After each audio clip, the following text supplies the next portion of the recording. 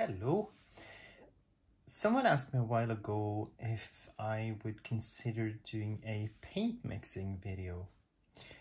Uh, so this is what I'll try and take you through right now. Basically, I have two different pouring medium mixes for my flip cups.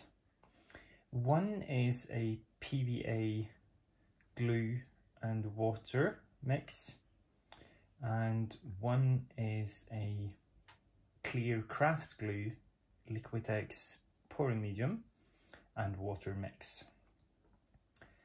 Um, they behave similarly um, though the consistency of each is slightly different. Um, for my Liquitex and Clear Craft Glue mix, uh, I use this craft glue from uh, Søstrene Grene. It's acid free, so it's non-yellowing. Um, have no idea what's in it, because they won't tell you that. It just says craft glue. Um, I use about, what was my mix again? Um, about 50% of this. Then I add about 30% of the Liquitex uh, pouring medium and 30% water which gives a consistency um, like this.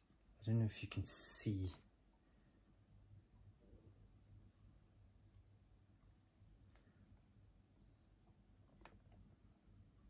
So it would be thinner than my usual paint, which is the Amsterdam Acrylics standard series. Um, and I mix this one, three parts pouring medium to one part paint. But I figured out that I could also make a similarly working mix with this PVA glue from Seawhite of Brighton, which is also acid free. And you'd want that because uh, uh, that um, should uh, stop them from yellowing over time. Um, but uh, mixing with this is a somewhat different story than the craft glue and the Liquitex. So for this, I figured out so far that 55% P PVA and 45% water is a good mix to achieve uh, the cells and the paint behavior that you see in my videos. This is how I like them.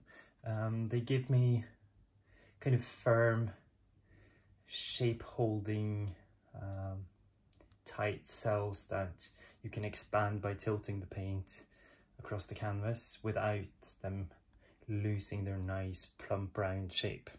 So that's how I prefer them anyway, and there are hundreds, if not thousands, of ways to do acrylic pouring. So this is just to get my particular um, effect. As you can see, this is the um, PVA and water mix. It's quite a bit thinner than the Craft Glue and Liqu one. Um, when I first tried out this mix, I stuck with the ratios for my um, Craft Glue and Liquitex pouring medium. That didn't work out so well.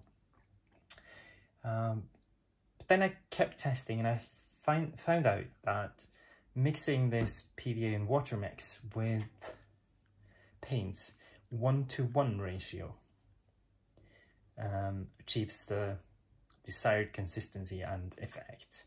And I suspect it has to do with what's the paint made of. Because I suspect you have some of the ingredients or similar ingredients in the paint as you do in the Liquitex. Um, this is all about chemistry, really.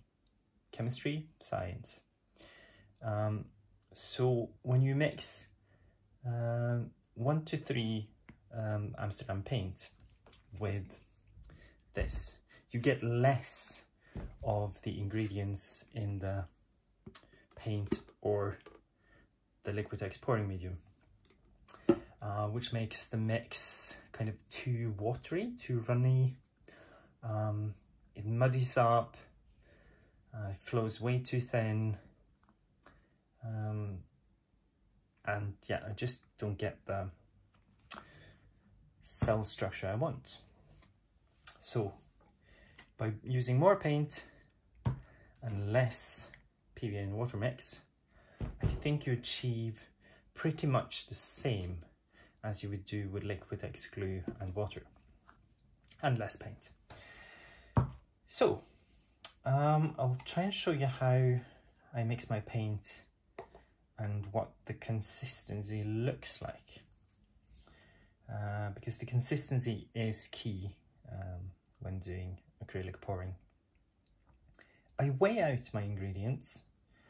Uh, it's the most precise way to do it. So, oops, there we go. Uh, for now, I'll be mixing the PVA and uh, water, 55, 45, uh, pouring medium mix.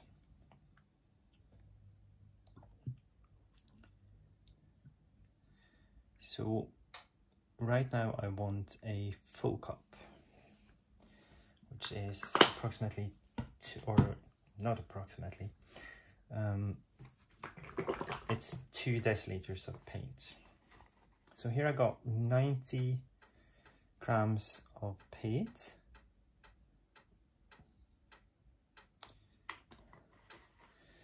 And well, 96 grams of pouring medium.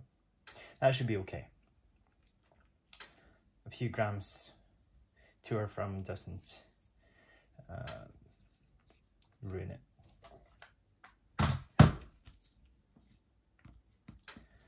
Okay, so then just go ahead and stir.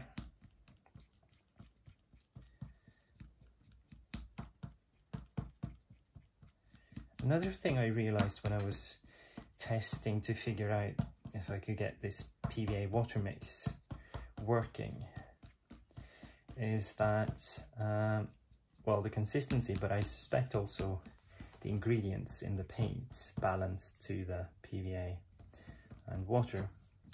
If you have uh, too much glue, you'll end up with loads and loads of bubbles, um, which is quite annoying and it does have an effect on how the painting will look.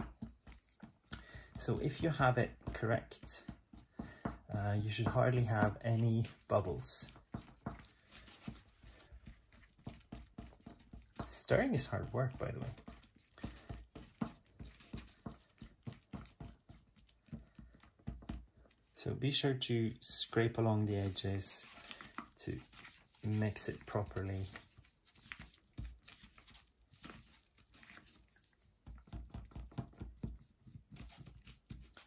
Go a bit up and down as well to scrape the sides properly. Make sure you do a proper scrape along the bottom as well because uh, a lot of paint will stick to the bottom of the cup if you don't do it. Some would uh, measure it the other way and that's probably a good idea to have in the pouring medium mix first and then add the paint.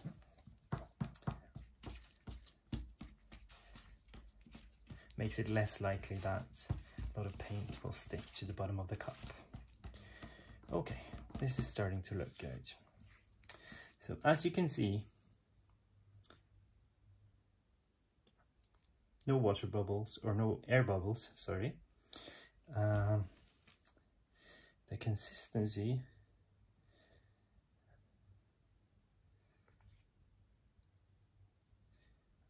some would call this warm honey or melted ice cream.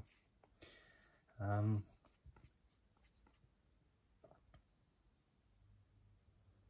yeah, so it runs easily off the mixing stick, makes a small mound in the cup that evens out within a couple of seconds at most. And then, uh, as the last part, I add a few drops of silicone oil. This is what helps break the surface tension of the paints. Um, so you have those beautiful cells forming. Some of them will probably appear by themselves and you can make additional cells appear by uh, with heat. So this is where the blowtorch comes in. And you can torch the entire thing and you will have a whole canvas covered in cells. Or you can, um, you can basically choose where you would like the cells to form by torching selectively and carefully. Uh, this is a practice thing, so um, just pay attention as you go and take notes and correct accordingly to what you want to achieve in your further pours. This is what I've been doing day in and day out for the last six months. Um, so yeah, this is two deciliters of paint, so I'm thinking three or four, probably four tiny drops of silicone oil.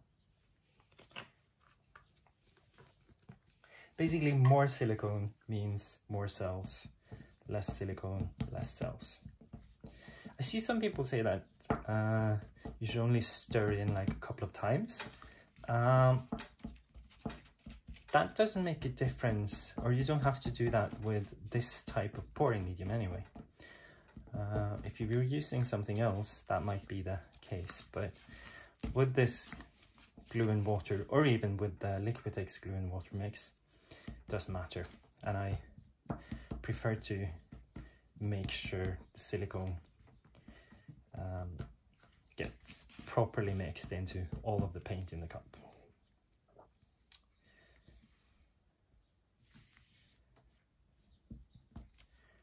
Okay, show you the consistency again.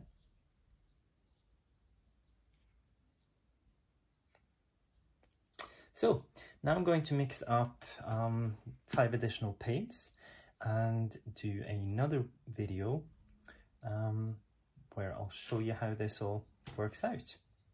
Okay, thank you for watching.